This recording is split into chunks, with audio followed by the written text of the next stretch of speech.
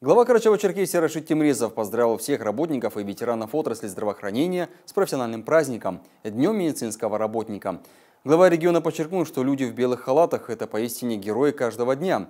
Продлевая жизнь человека, советуя, как избежать недугов, возвращая здоровье и, что порой важнее всего, просто вселяя уверенность в исцеление, вы оказываете каждому неоценимую услугу. Развитие здравоохранения было и остается одной из приоритетных задач как на федеральном уровне, так и в нашем регионе в частности. Очевидны успехи, которые Карачаево-Черкесия достигла в этом направлении за последние годы. Вводятся в строй новые медучреждения, в том числе для лечения детей.